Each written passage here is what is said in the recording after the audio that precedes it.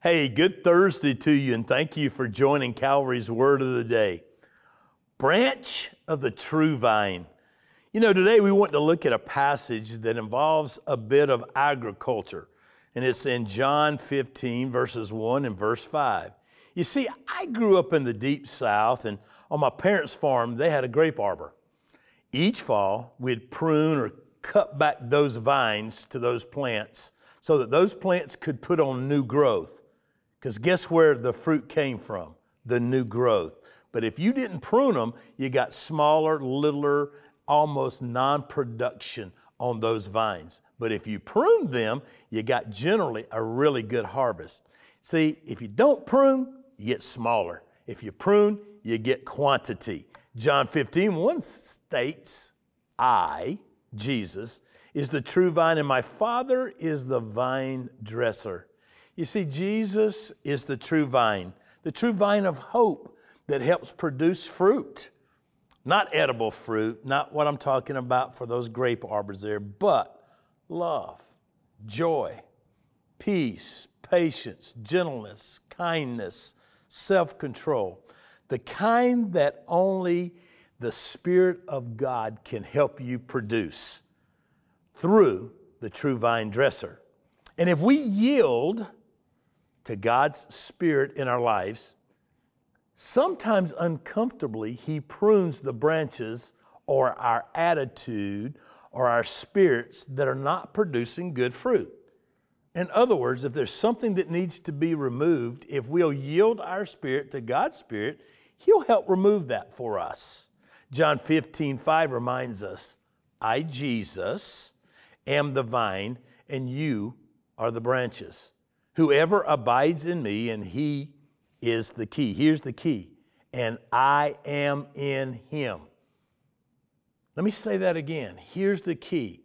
Whoever abides in me, and I in him, he it is that bears much fruit.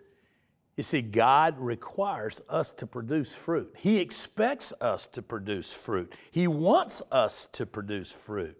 He wants us to be gentle. He wants us to be loving. He wants us to be joyful. But we can't do that within inside ourselves.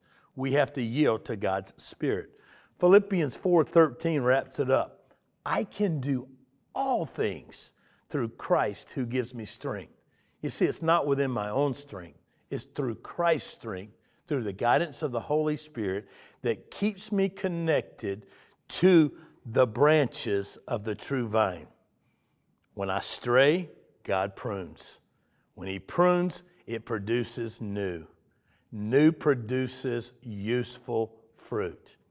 What fruit are you struggling to produce in your life? Can I just encourage you, if you take just a minute, look at the fruit. So, on a day to day basis, submit your will or my will to God's will. I today choose to allow the pain of pruning to help me grow and help me abide or stay connected and I and Him to the source of true life, Jesus Christ? Here's a real challenging question Will you make a choice today to stay connected to the power source by surrendering your entire being to Jesus Christ and allow Him to fill you, Him to grow you, Him to prune you so that you produce good fruit? Will you join me in prayer?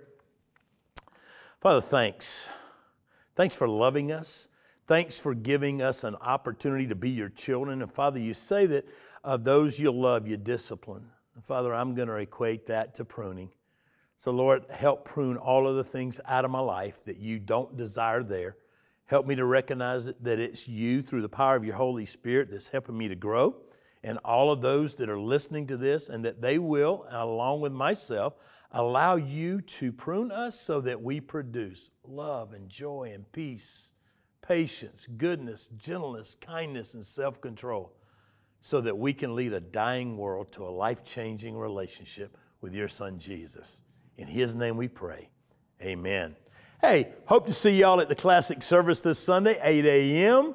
at the McCulloch campus. God bless you and bye bye.